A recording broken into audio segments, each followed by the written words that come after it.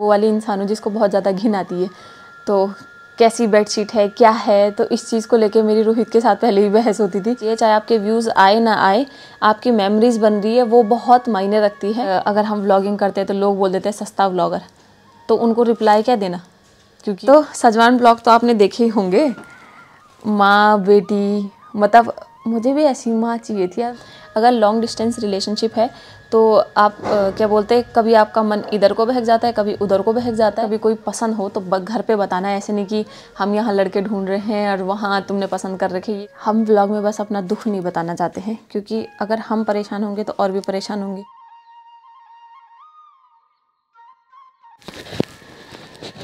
ऐसे ही लगा देते हैं ना। तो हेलो गुड मॉर्निंग दोस्तों। बहुत टाइम से आप लोगों को भी इंतज़ार होगा कि भाई साहब, ये क्वेश्चन के आंसर क्यों नहीं दे रही है? तो चलिए फिर आज अपने क्वेश्चन आंसर स्टार्ट करते हैं। आज कोई अभी व्लॉग नहीं है क्वेश्चन आंसर ही है, क्योंकि बहुत सारे क्वेश्चन आंसर हैं। क्वेश्चन है बोले तो। तो शुरू करते हैं ना।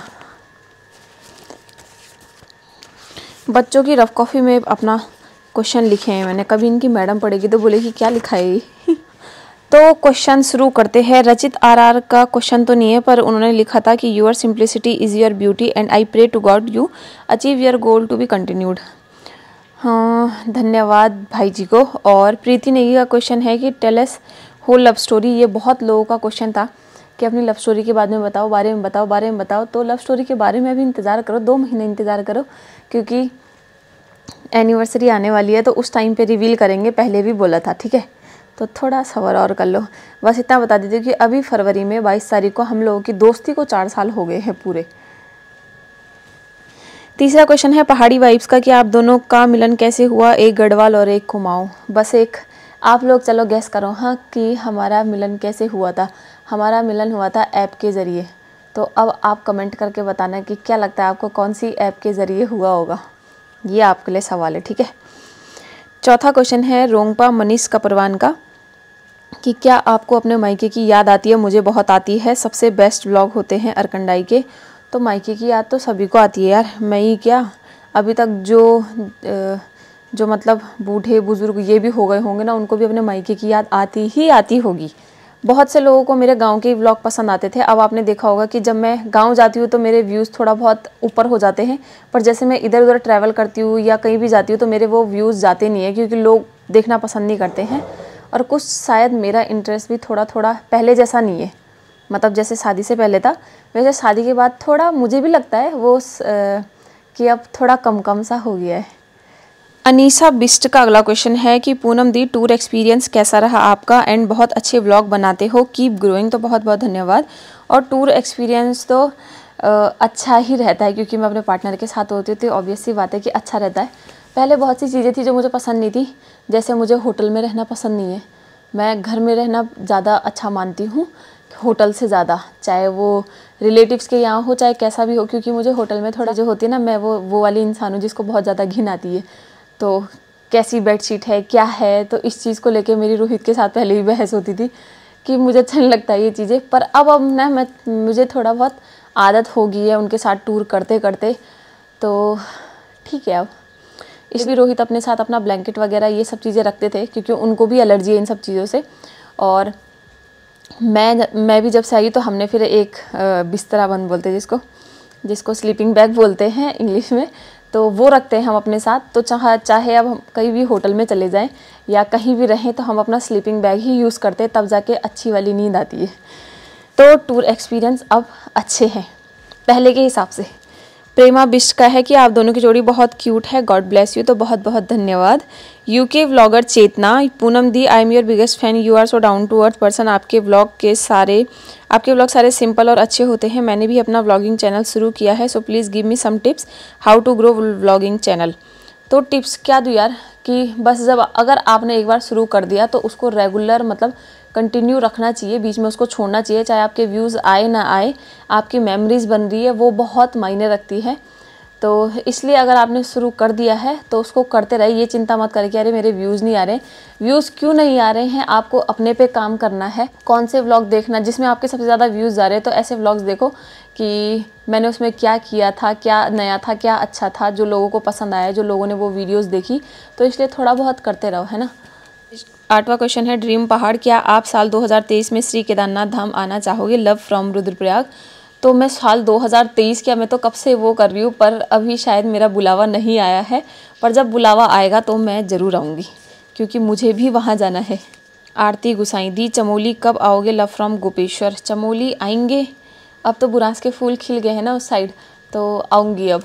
जब टूर होगा तब इनके साथ आऊँगी।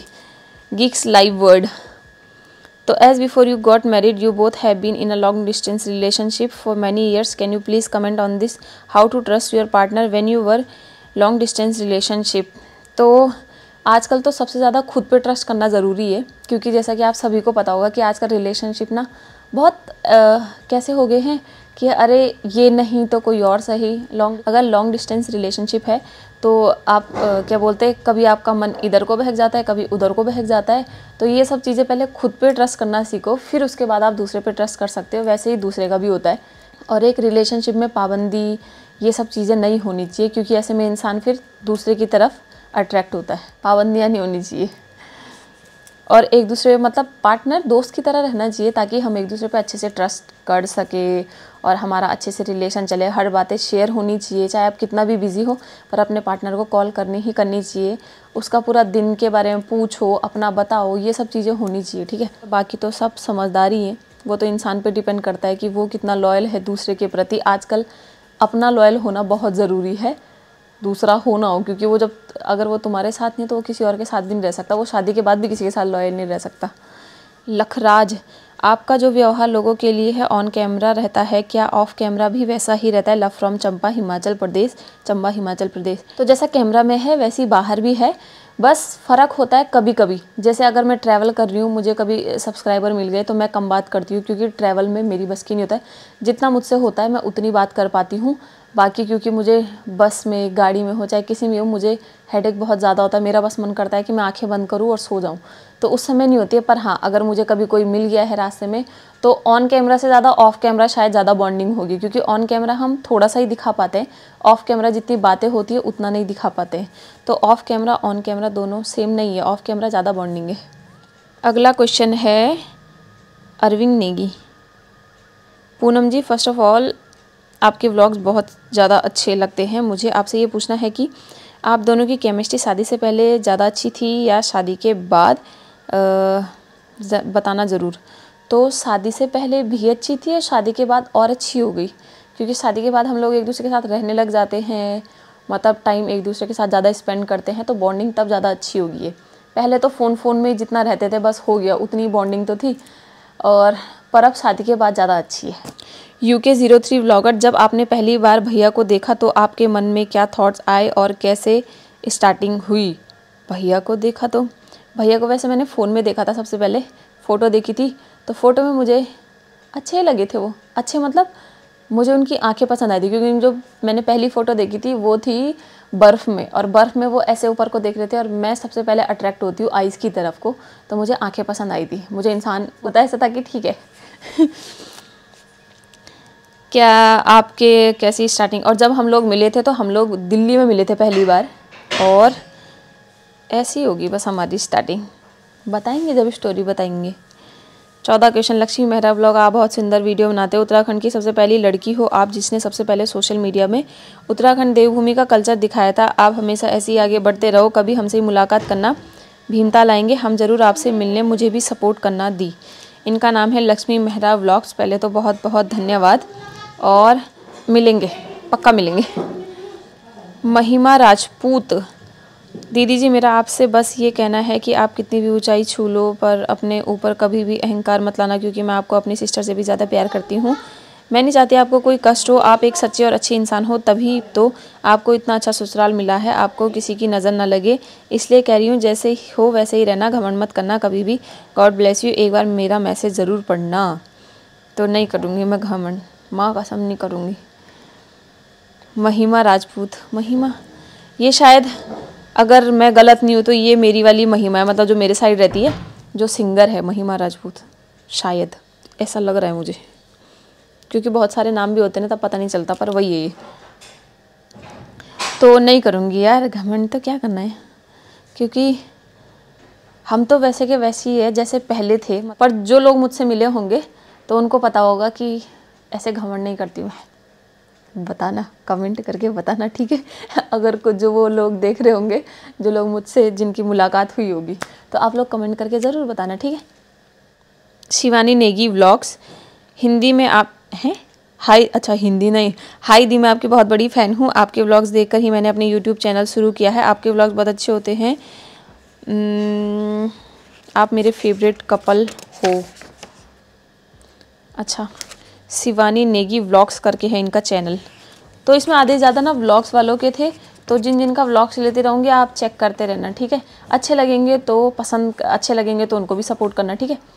क्योंकि जब कोई स्टार्ट करता है तो उसको सिर्फ़ एक प्रेरणा मिलनी चाहिए कि हाँ भाई, हमको सपोर्ट मिल रहा है तो वो और अच्छे से काम करता है। पर जब कभी कभी ऐसा होता है कि यार नहीं जा रहे तो डिमोटिवेट होता है, पर उसमें डिमोटिवेट नहीं होना चाहिए। अपने में कमियाँ देखनी चाहिए तब कि हम कहाँ पर गलत हैं क्यों हमारी वीडियोज़ नहीं चल रही है? उसमें दूसरे को नहीं देखना चाहिए कि अरे व्यूज़ नहीं जा रहे हैं, चलो इससे प्रमोशन करा लेते हैं, उससे प्रमोशन नहीं। अपने आप को देखना चाहिए कि हम कहाँ पे गलत हैं, या एडिटिंग सीखनी चाहिए, या क्या करना चाहिए थंबनेल इम्प्रूव करने चाहिए, ये सब चीज़ें। ठीक है? संजना रावत, जब आप और रोहित के बारे में घर में आपने बताया तो क्या रिएक्शन था घर वालों का? ये बता दो। घर वालों का कुछ भी इतना रिएक्शन नहीं था।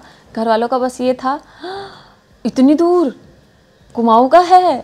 जैसे कि पता ही होगा कि गढ़वाल कुमाऊँ मतलब सोचते हैं, गढ़वाल वाले सोचते हैं, कुमाऊँ वाले तेज है, कुमाऊँ वाले सोचते हैं, गढ़वाल वाले तेज है, पर हर जगह ही तेज है फिफ्टी फिफ्टी परसेंट हर जगह ही सीन है ऐसा। तो जब मैंने घर में बताया था ना तो ज़्यादा कुछ नहीं हुआ था, क्योंकि मेरे पापा ने पहले बोल रखा था कि अगर कभी कोई पसंद हो तो घर पे बताना, ऐसे नहीं कि हम यहाँ लड़के ढूंढ रहे हैं और वहाँ तुमने पसंद कर रखे ये सब चीज़ें नहीं थी। तो मेरे पापा ने पहले से ही बोल के रखी थी हमको ये चीज़ें कि कभी पसंद हो तो घर में बताना। तो इसलिए जब मुझे पसंद था तो मैंने बताया घर पे। मम्मी थोड़ा चौंकी थी क्योंकि मम्मी को था कुमाऊँ। और जैसे सुनते ना कि कुमाऊँ के लोग तेज़ होते हैं, कुमाऊँ वाले बोलते हैं गढ़वाल के लोग तेज़ होते तो ये सब चीज़ें थी माइंड में क्योंकि वो पहले से ही सेटअप है। वो पहले से ही बैठी हुई हैं तो ये सब उस समय हुआ था कि इतनी दूर नहीं, इतनी दूर तो नहीं अलाना फलाना फिर उसके बाद हो ही गया था। फिर घर वालों से मिले तो बात होगी, फिर रिश्ता हो गया, फिर शादी होगी अब। इतनी दिक्कत नहीं आती है वैसे। अगर दोनों सेटल हो और दोनों अच्छे से रहें तो इतनी दिक्कत नहीं आती है, पता है? घर वाले भी राज़ी हो जाते पैनुली व्लॉग्स, आप बहुत अच्छे व्लॉग्स बनाते हो, क्या आप, आपने क्या क्या स्टडी कर रखी है? तो मैं बता दूँ, मैंने कुछ ज़्यादा स्टडी नहीं की है, मैंने ट्वेल्थ किया, ट्वेल्थ के बाद मैंने डिप्लोमा इन फार्मेसी किया, और उसके बाद मैंने जॉब करी, और उसके बाद जॉब छोड़ के फिर अब मैं व्लॉगिंग करती हूँ। तो मैंने डिप्लोमा इन फार्मेसी कर रखी है, मैंने ग्रेजुएशन वगैरह भी नहीं कर रखी है। भरत कुमार गुप्ता, मैं आपके व्लॉग जब 40 के सब्सक्राइबर थे, तब से हर एक व्लॉग देखता हूँ। रोहित जी बर्डिंग कराते हैं तो उनकी इनकम गाइड के टूर पर होती है क्या? या खुद बर्डिंग करके कमाते हैं? तो वो ना खुद बर्डिंग करके कमाते हैं, उनका वो खुद का बिज़नेस है। मतलब वो ओनर है अपनी कंपनी के, और तो जो भी बर्ड गाइड्स वगैरह आते हैं तो जो भी उनका पेमेंट चार्ज जो भी होता है तो उसमें ही उनकी सैलरी आती है। खुद बर्डिंग करके कमाते हैं। बहुत मेहनती है वैसे वो। अति ज़्यादा बोलते हैं जिसको, बहुत ज़्यादा बोलते जिसको। अपने काम को लेके बहुत ज़्यादा सीरियस है। मैं मतलब मैं अपने काम को लेके भी इतना सीरियस नहीं हूँ। मैं कभी अपनी पढ़ाई को लेके भी इतनी सीरियस नहीं थी। लाइफ को लेके भी इतनी सीरियस नहीं थी। रोहित को लेके सीरियस थी। पर वो बहुत ज़्यादा सीरियस है काम को लेके। संतोष राणा, पूनम कुछ ऐसा किस्सा बताओ आप लाइफ का जो कभी व्लॉग में ना बताया हो। व्लॉग में ना बताया हो? यार वो किस्सा तो बहुत ख़तरनाक है, उसको तो नहीं बता सकती मैं व्लॉग में, उसको कभी ऐसे बताएँगे। बहुत सारे किस्से हैं ऐसे तो जो व्लॉग में नहीं बताए हैं। व्लॉग वाला ही सीन बताती हूँ कि बहुत से लोग मुझे कमेंट करके बोलते हैं कि आप कमेंट के रिप्लाई नहीं करते हो। तो कमेंट के रिप्लाई हम इसलिए नहीं करती हूँ मैं। एक तो बहुत सारे कमेंट भी होते हैं और मेरे साथ सीन ऐसा हुआ था कि जब मैंने शुरू शुरू में ना, आप मेरे शुरू के ब्लॉग जाके देखना तो उसमें मैंने कमेंट के रिप्लाई किए थे, बहुत सारे रिप्लाई कर रखे हैं मैंने। तो उसमें लोग, पता है, अगर कभी किसी के कमेंट का रिप्लाई किया ना, क्योंकि होता ऐसा है कि इंसान कौन सा ब्लॉग कब देख रहा है, वो हमको पता नहीं है। तो वो कमेंट पता नहीं कब आते हैं, कोई तीन दिन पहले, कोई चार दिन बाद, कोई एक हफ़्ते बाद, कोई महीने बाद, ऐसे तो उनके रिप्लाई नहीं हो पाते ऐसे उसमें। तो बहुत से लोग मेरे को क्या करते थे, जैसे मैंने किसी का रिप्लाई किया है तो लोग उसका स्क्रीनशॉट मार के और उसको मेरे इंस्टाग्राम पे डीएम करके मुझे भेज देते थे कि आपने इसके कमेंट का रिप्लाई किया, मेरे कमेंट का रिप्लाई नहीं किया, मैं आपको अनसब्सक्राइब कर रहा हूँ। तो मैं ऐसे होती थी, हैं? ऐसे भी होता है क्या? क्योंकि कमेंट का रिप्लाई हम लोग अपने व्हाट्सअप में, आप लोग खुद भी सोचो कि आप लोग खुद अपना व्हाट्सअप भी नहीं देख पाते होंगे, क्योंकि इतने मैसेजेस होते हैं व्हाट्सअप में फेसबुक में। मेरे तो फेसबुक पता नहीं कब से नहीं चलाया है इंस्टाग्राम भी मैं इतना यूज़ नहीं करती हूँ अब, और व्हाट्सअप तो यूज़ ही नहीं करती हूँ। व्हाट्सअप में सिर्फ़ स्टेटस शेयर लिंक शेयर करती हूँ अपना एक यूट्यूब से डायरेक्ट जाके और उतने में ही मतलब हो जाता है मेरा काम। मतलब मेरे को व्हाट्सअप खोलने का सीन ही नहीं है मेरा। बाई चांस कभी खोलती हूँ। तो ये बहुत बुरी भी लगती चीज़ है और जैसे लोग कभी कभी खुद ही अपने मन से सोच लेते खुद ही लोग बोलते हैं, बड़े व्लॉगर हैं। खुद ही लोग बोलते हैं, ए, बड़े व्लॉगर हैं तो क्या हमारे कमा रहे क्या? हम कुछ कर रहे हैं क्या? ऐसा कुछ सीन ये वाले डायलॉग होते हैं। तो वो, मुझे तो बुरे नहीं लगते क्योंकि मुझे फ़र्क नहीं पड़ता है ऐसी चीज़ों से। होता क्या है, क्योंकि मैं अपने आप को बड़ा व्लॉगर नहीं मानती, मैं तो वही हूँ जो पहले थी, वही हूँ। अपने माँ बाप के लिए भी, अपने रिश्तेदारों के लिए भी, अपने जो जानते हैं, उन सब के लिए वही हूँ। पर लोग ही कभी कभी ऐसे बोलते हैं कि, अरे, वो बड़े ब्लॉगर हैं तो वो हमको भाव क्यों देंगे ऐसा वैसा तो ऐसा नहीं होता है। तो ये चीज़ें थोड़ा बताने लायक नहीं होती हैं। क्योंकि कब तक इंसान इन चीज़ों को बताएगा ना? इसलिए इग्नोर करते हैं हम इन चीज़ों को। जैसे कभी हम रास्ते में जा रहे होते हैं तो अगर हम व्लॉगिंग करते हैं तो लोग बोल देते हैं, सस्ता व्लॉगर तो उनको रिप्लाई क्या देना? क्योंकि वो, उनकी मर्ज़ी है वो सस्ता व्लॉगर बोले, महँगा व्लॉगर बोले, वो उनका मुँह है, उनका दिल है, उनकी सोच है। हम तो बस व्लॉगिंग कर रहे हैं, हमारा काम तो है अपना मतलब ड्यूटी पूरी करना। ड्यूटी भी हो गया शौक जैसा भी हो गया है तो हम सिर्फ़ वही करते हैं। वो लोगों की सोच है कि वो क्या बोलते हैं? सस्ता बोले महँगा बोले कचरा बोले कूड़ा बोले अच्छा बोले बुरा बोले। पानी की टंकी भर गई है। सावधान पानी की टंकी भर गई है। ये बड़ा अच्छा सीन है। भयंकर एक हम थे जब अपनी टंकी भरते थे तो पाइप लगाते थे फिर देखने जाते थे पानी गिर रहा है नहीं गिर रहा है। फिर आवाज़ लगाते थे अरे पानी गिर गया। ये वाला सीन सही है ना? आने वाले टाइम के साथ क्या क्या चीज़ें बदल गई? तो बस किस्से कुछ ऐसे, किस्से तो बहुत सारे हैं, पर क्या क्या ही जो बताऊँ ना? अब किस्से ऐसे होते हैं कि वो व्लॉग में बताने लायक नहीं होते, क्योंकि ऐसा नहीं है कि अगर हम लोग व्लॉग में हंस रहे हैं तो हम लोग हँसी रहे हमारी लाइफ इतनी अच्छी है हम ब्लॉग में बस अपना दुख नहीं बताना चाहते हैं, क्योंकि अगर हम परेशान होंगे तो और भी परेशान होंगे। ऐसी चीज़ें हैं। सिचुएशन हमेशा खुशी वाली नहीं होती है दुख वाली भी होती है तो वो चीज़ें नहीं बताते हम ब्लॉग में वरना किस्से तो बहुत सारे इक्कीसवा क्वेश्चन है सजवान ब्लॉग। कि मैंने आपके वीडियोस देख के ही ब्लॉग बनाना शुरू किया है। मेरा ये सवाल शादी के बाद मेरा ये सवाल है कि शादी के बाद लाइफ कितनी चेंज होती है? क्या डिफरेंस देखने को मिलता? अरे बाप रे। तो पहले तो बहुत बहुत, बहुत। तो सजवान ब्लॉग तो आपने देखे ही होंगे।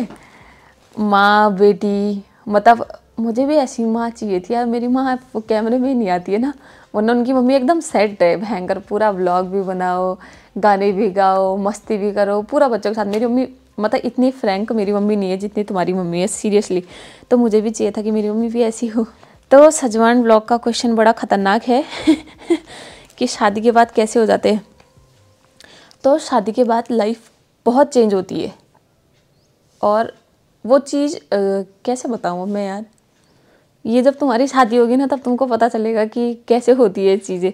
उसको मतलब वो सिर्फ़ चीज़ें फील की जा सकती है ऐसे बताई नहीं जा सकती। शादी के बाद चेंज तो बहुत होती है लाइफ और डिफरेंस क्या देखने को मिलता है? डिफरेंस ऐसा होता है कि हम लोग जैसे मायके में होते हैं तो अगर हमारे भाई बहन हमको काम बता रहे हैं, या मम्मी पापा कुछ काम बता रहे हैं तो हमारा मन नहीं है तो हम नहीं करते। हम उनको सीधा डायरेक्टली मना कर देते हैं कि नहीं कर रहे हैं हम। सीधा मना कर देते ना मम्मी को। पर ससुराल में ऐसा नहीं होता है। ससुराल में अगर कुछ बोल दिया कि हाँ ये करना है तो हम वो चीज़ करते हैं।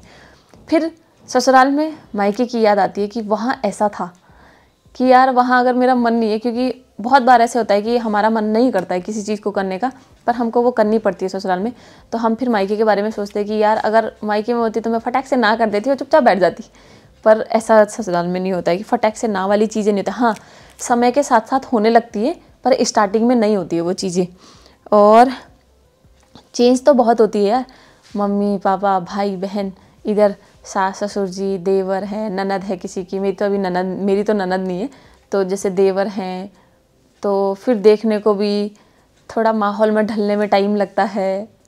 अब बहुत से लोग बोलेंगे कि तुम तो ढली हुई हो। वो ढलना अलग है और वैसे ढलना अलग है। तो इसलिए चेंज बहुत होती है शादी के बाद लाइफ और अब बाकी एक्सपीरियंस तुम खुद लेना जब तुम्हारी शादी होगी, ठीक है? बाईसवा क्वेश्चन है एम के व्लॉग्स का कि मैरिड लाइफ में व्लॉग कैसे मैनेज करते हो? बस हो जाते हैं। मैरिड लाइफ में क्या? क्योंकि मैरिड लाइफ में भी वही काम होता है और उसमें शादी से पहले वही काम था। सो क्योंकि हम लोग कैसे कि गाय भैंस ये सब चीज़ें तो है नहीं। और ये भी होती तो तब भी मैनेज हो जाती जैसे आपने बहुत सारे गाँव के व्लॉग्स देखे क्योंकि बहुत सारे अब लड़के, लड़कियाँ जो भी काम करते हैं, उसका व्लॉग बनाते हैं तो चीज़ें मैनेज हो जाती है। क्योंकि हमको सिर्फ़ व्लॉग में जितना हम एक घंटे का काम करते हैं, हमको उसका सिर्फ़ पाँच मिनट भी पूरा नहीं दिखाना होता है, थोड़ा सा दिखाना होता है। तो वो हो जाता है, बस कैमरा सेट करो, दिखाओ और हो गया। तो वही चीज़ है कि ससुराल में भी सेम वैसी है कि सुबह हम लोगों को नाश्ता करना है, जो भी करना है, उसके बाद ब्लॉग शूट करो। फिर अगर कभी कुछ दिखाना है, खाने की चीज़ें हम ये बना रहे हैं तो वो शूट करो। तो चीज़ें मैनेज हो जाती है। तेईसवा क्वेश्चन है, वंदना व्लॉग देवभूमि उत्तराखंड। पहले आपके व्लॉग अच्छे लगते हैं। पहले तो ये बता दो कि आपके व्लॉग अच्छे लगते हैं। बहुत बहुत धन्यवाद। व्यूज़ लाने के लिए क्या करूँ? व्यूज़ लाने के लिए मेहनत करें। और हस्बैंड या जब भी कोई घर से जाता है तो रोना इमोशनल ऐसी वीडियो दो सौ, दो हज़ार तक व्यूज़ आ जाते हैं। रियलिटी जो होगी, वही दिखाते हैं, पर उसमें व्यूज़ नहीं आते। और इमोशनल वीडियोज़ में ज़्यादा व्यूज़ चले जाते हैं। तो इमोशनली वीडियो बनाओ। क्योंकि किसी भी चीज़ में रो जाओ यार। व्लॉग ही तो बनाना है भयंकर। रोने वाले वीडियोस में व्यूज़ आ रहे हैं तो रो ना। कभी प्याज लगा, कभी कभी प्याज आँखों में डालो, प्याज के छिलके आँखों में डालो, रोने लगता हो भयंकर। कुछ भी थंबनेल डालो। आजकल की जो क्लिक बेट चलता है ना तो उसमें ऐसी होता है कि थंबनेल कुछ और होता है, अंदर कुछ और होता है, पर लोग थंबनेल देख के देख देते हैं। तो छोड़ो। तो रोने वाले वीडियोस बनाओ, ठीक है? चौबीस अरे मैंने इनका नाम ही नहीं लिखा। चौबीसवें का।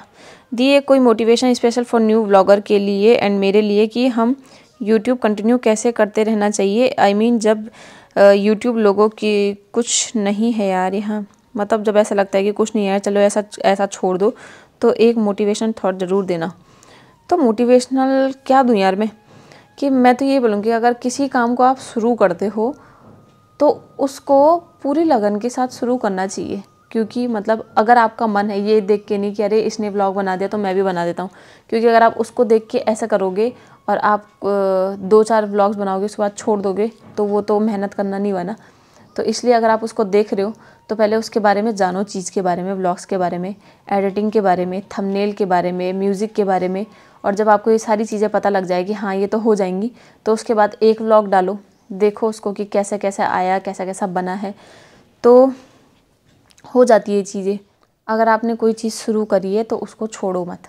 जैसे वही ना कि हम साल भर अपना शुरू करते हैं पढ़ाई के लिए, जब तक एनुअल एग्ज़ाम नहीं होते, तब तक हम छोड़ते नहीं हैं पढ़ाई करना। तो बस वैसा ही सीन है। जब तक आपको उसका रिज़ल्ट नहीं मिलता तब तक आप छोड़ो मत। जब तक अच्छा रिज़ल्ट नहीं मिल रहा अगर आपका रिज़ल्ट बुरा बुरा ही चल रहा है, बोले तो व्यूज़ कम कम ही चल रहे हैं। इसका मतलब ये है कि आपने अभी मेहनत शुरू नहीं करी है ढंग से।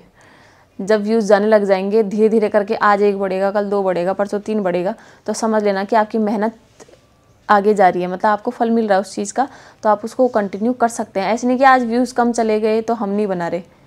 मेरे भी तो जाते हैं, मेरे व्लॉग्स देखे होंगे आपने, कभी कभी साठ चले जाते हैं, कभी सत्तर, कभी अस्सी, कभी एक भी जाता है, कभी बीस पे भी अटक जाते हैं, कभी दस पे, कभी पंद्रह पे भी अटक जाते हैं, पर मैंने व्लॉग बनाना नहीं छोड़ा क्योंकि मुझे करना ही करना है वो। तो बस ये है कि छोड़ना नहीं है वो चीज़। और हमको कंटिन्यू ही करनी है, अगर हमने बनाना स्टार्ट कर दिया है तो। मनोज भैंसोरा, पच्चीसवा क्वेश्चन है मनोज भैंसोरा के आप जो ससुराल है, उस गाँव का नाम क्या है? क्या वो अल्मोड़ा डिस्ट्रिक्ट में है? और कौन सा एरिया है अल्मोड़ा का लव फ्रॉम अल्मोड़ा? तो मैं बता दूँ हाँ अल्मोड़ा में ही है, गाँव का नाम तिलोरा है। और कौन सा एरिया है? सोमेश्वर वाला मतलब वहाँ का सोमेश्वर, मनान और भक्तोला, ये मार्केट पड़, ये एरिया पड़ते हैं वहाँ पे बीच में। छब्बीसवा क्वेश्चन है भंडारी व्लॉग्स का कि आप अपनी एक अच्छी आदत बताओ। इन्होंने बड़ा फंसाया मुझे, जब मैं लिख रही थी तो मुझे हँसी आ रही थी। आप अपनी एक अच्छी आदत बताओ और अपने हस्बैंड की बुरी आदत बताओ। उनकी अच्छी आदत बोलते तो मैं बोल, धड़ल्ली से बोल देती कि हाँ ये, अब मैं अपनी अच्छी बताऊँ, उनकी बुरी बनाओ, भयंकर मुझे ही फंसाओगे। मेरी अच्छी आदत क्या है? मेरी अच्छी आदत ये है कि मेरा गुस्सा बहुत जल्दी शांत हो जाता है। मतलब मतलब अगर मैं किसी चीज़ को लेके नाराज़ हूँ या गुस्सा हूँ तो वो फटैक से वो चीज़ चली भी जाती है। मतलब वो ज़्यादा दिनों तक टिकती नहीं है, ज़्यादा देर तक टिकती नहीं है। ऐसा वाला सीन है मेरा। हाँ टिकेगी तो बहुत गंदा टिकेगी। टिकेगी तो बहुत गंदा टिकेगी। और इनकी बुरी आदत पता क्या है? ये जब मैच देखते तो मुझे इग्नोर कर देते और ये सबसे बड़ा दुख है मेरा। इनकी सबसे बुरी आदत है ये। कि जब ये काम करते हैं और मैच देखते हैं तो ये मुझे इग्नोर कर देते हैं, जो मुझे इनकी अच्छी आदत नहीं लगती है। हालाँकि काम करना और मैच देखना भी ज़रूरी है, क्योंकि जो इंसान इतना काम कर रहा है, वो अपना मतलब स्ट्रेस फ्री करने के लिए मैच देखेगा, क्योंकि उसको उससे खुशी मिलेगी। पर मुझसे नहीं मिलती है ना, मुझे ये समझ नहीं आता है। तो ये मुझे बुरी आदत लगती है। हालाँकि मुझे टाइम पूरा मिलता है, पर जब मैच देखते हो, मुझे तब टाइम चाहिए ना। पत्नियों की तभी तो किलसती है कि जब पति मैच देख रहा होता है कि ये मुझे इस समय भाव क्यों नहीं दे रहा है भाई? अभी भाव देना, और टाइम पे भाव दे के क्या करेंगे? है ना? तो मुझे चाहिए कि हाँ जब मैच देखेंगे तो चल यार, मैच छोड़ के ऐसे कर दे कि चल यार, तेरे साथ बात कर लेता हूँ मैं। तो ये इनकी बुरी आदत है। बहुत से पतियों की होगी ये तो बुरी आदत मैच देखने वाली, जब पत्नी को इग्नोर कर देते हैं।